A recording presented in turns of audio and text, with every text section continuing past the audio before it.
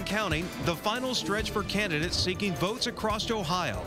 The race for Attorney General features the incumbent, Richard Cordray, facing off against his well-known challenger, former U.S. Senator Mike DeWine.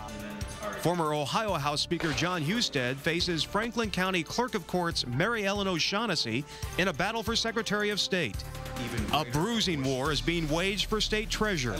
Incumbent Kevin Boyce trying to fend off well-financed challenger Josh Mandel. And candidates Dave Yost and David Pepper each hope to replace outgoing Auditor of State Mary Taylor. With control of the apportionment board up for grabs, the stakes for both major political parties could not be higher. If it's Ohio politics, it's Capitol Square. From ONN and WBNS 10 TV, serving Central Ohio and the state for more than 60 years, this is Capitol Square. Hi, everybody. Welcome to Capitol Square. I'm Jim Heath. And I'm Jerry Revish. We're nearly a week away from Election Day now. The candidates are out in force, full force, trying to drum up those last-minute votes before Campaign 2010 comes to a close on November 2nd. Jerry, we have followed the polls in the governor's race uh, all summer into the fall, and the one consistent is that the race has closed. The question is really by how much? Take a look at the latest CNN time poll released Thursday. This is the first time we've seen the governor in the lead for months. 48% of likely voters say they'd vote for Strickland, 47% for John Kasich. 3% are undecided. Now, Strickland's one-point margin is well within the survey's sampling error. But the latest Quinnipiac poll this week shows Kasich with a 10 percentage point lead over Strickland.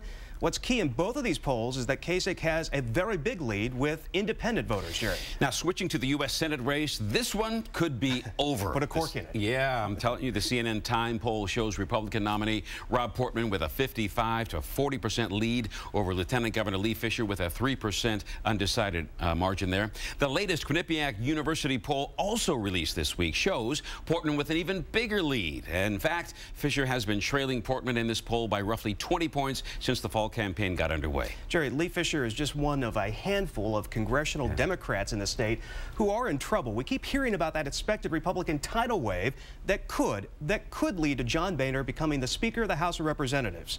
Fisher and incumbent Representatives Steve Driehaus and Mary Jo Kilroy are the most endangered Democrats this cycle. In fact, national Democrats have written each off financially. Major polls have all three behind and likely to be victims again of that GOP wave. But the problem extends to other Democrats once considered safe. John Boccieri, Zach Space, and Charlie Wilson. While the Republican opponents have trailed in money and name ID, the anti-incumbent wave could push right into these districts, which would signal a huge realignment nationally on election night. That's right. Other statewide offices are up for grabs on election night, too. Coming up, we'll hear from the leading candidates running for Attorney General, Secretary of State, Treasurer, and Auditor. Yeah, we'll also turn to our in-studio experts to talk about those races. Joining us today, Julie Carr Smyth with the Ohio Associated Press and Jim Siegel with the Columbus Dispatch. We begin with the race for Ohio Attorney General. Voters will find four candidates on the ballot. First, incumbent Democrat Richard Cordray faces Republican challenger and former U.S. Senator Mike DeWine. Two third-party candidates also in the running. Robert Owens is the Constitution Party candidate, and Mark Allen Feldman is the Libertarian in this race. The winner on November 2nd will serve a four-year term beginning in January 2011. The Attorney General is the state's chief legal counsel. But the office also performs other duties. So we asked the candidates what should the Attorney General's office do to help curb violence and crime in Ohio. Well, I think that the most important thing we do is we provide frontline support to police, sheriffs, and prosecutors in the state. Uh, in my case, we handle all the training of peace officers in the state. We have improved that function in, a number of respects, including making training more, training more accessible to law enforcement around the state with regional trainings and putting uh, online training. But also uh, our crime labs, we have cut the response time uh, for local law enforcement in handling those cases. We have added uh, support for computer crimes, which they tell us that they need very much. We've been fighting human trafficking, which is a problem that's often unrecognized but very significant here and everywhere around the country. Uh, just, just a number of things that we can do to make sure that local law enforcement are in a position to do their best job every day. And that's why I believe all seven law enforcement organizations in the state of Ohio, Fraternal Order of Police and six others have all endorsed Rich Cordray for re-election as Attorney General. What should the Attorney General's office do to help curb violence and crime right here in the Buckeye State? You know, the Attorney General um, works to support the police and prosecutors. if there's a crime that is committed uh, in Ohio, the likelihood is the evidence will go, be sent by the prosecutor and by police to the state crime lab. Uh, we just have problems there today. Uh, it is kind of a poster child of what's wrong with, with state government. We have to clean it up. If you look at the efficiency level of the state crime lab, uh, is running about 30% efficiency uh, compared to private crime labs. I'm a prosecutor. I'm a former prosecutor. I will go in and shake it up. And what I will do is bring people from the private sector who are running crime labs that are much more efficient. I will bring them in. I will also talk to the employees who work there. There are many good people who work there that are doing a good job as far as analyzing the evidence, but we need to increase the productivity. That will help deal with the crime problem in the state of Ohio. Now, the operation of the state crime lab has become a major sticking point in this campaign. As you heard, DeWine calls it inefficient. Cordray has argued that he's cleaned it up. Jim? All right, Jerry, uh, this obviously has been a very big issue in this campaign, perhaps the one dominant issue, Jim and Julie. Let me ask you right out of the gate here, I mean, how real is this crime lab issue. Republican prosecutors, seemingly, Jim, are lining up with Cordray on this. Yeah, there's about a half dozen Republican prosecutors in this, around the state who came out and uh, criticized Cordray, criticized the crime lab as being too slow and inefficient. Um, as far as whether or not this is a real issue, I think it is an issue, but eh, you need context to it, as with most things in these campaigns. I mean, Cordray and even the county prosecutors who are who are criticizing him agree with Cordray in that he has made things faster. Mm. The mm-hmm. DNA results are getting done faster uh, than they were before. Um, he has put in robotics and other things to try to make the crime lab work more efficiently.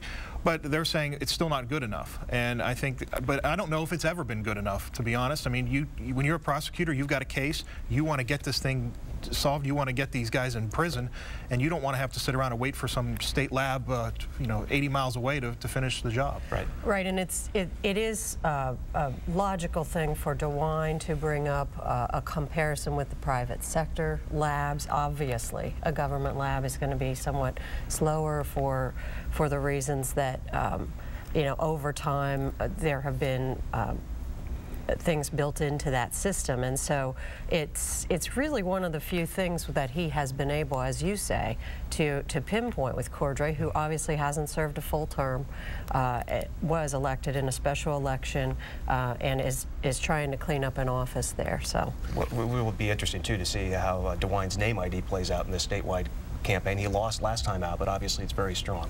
All right, Jerry. Thanks a lot, Jim. Moving on now to the Secretary of State's office. Three candidates are on the ballot. They are Democrat Maryellen O'Shaughnessy, Republican Jon Husted, and Libertarian Charles Earl. The winner on November 2nd will replace current Secretary of State Jennifer Brunner.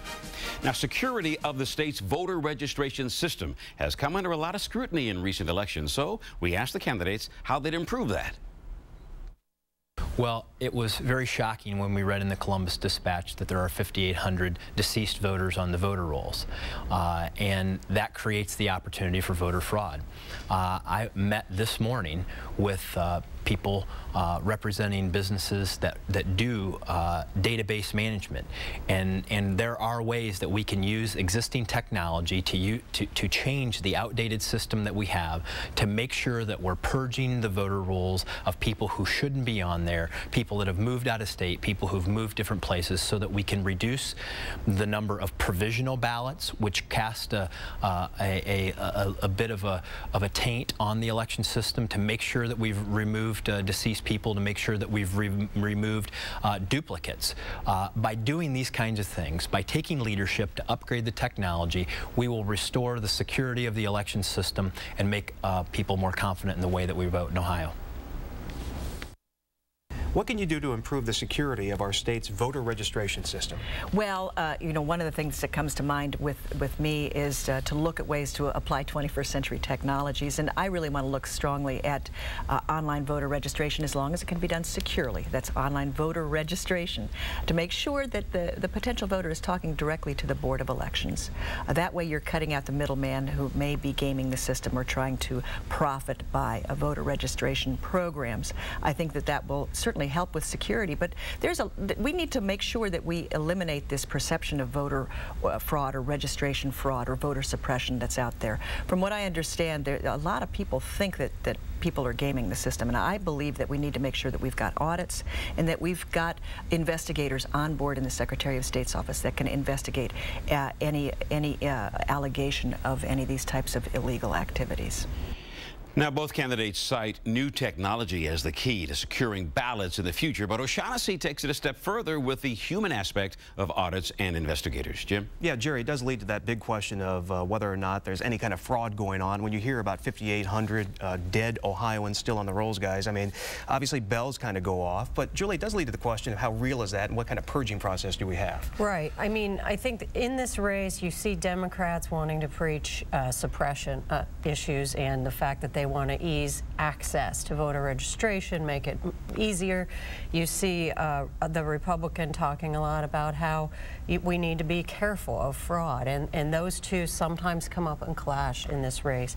Um, but I think voters need to look at as they go to the polls just sort of do we or don't we have a problem? I mean, there are 5,800 dead people on the rolls. That could just be a clerical thing. We have, in the in my knowledge, had can count on one hand uh, the number of actual fraud cases in the state of Ohio. I just wonder, I mean, with the technology the way it is today, you, you do have to sit and wonder, why can't these voter rolls be updated instantaneously?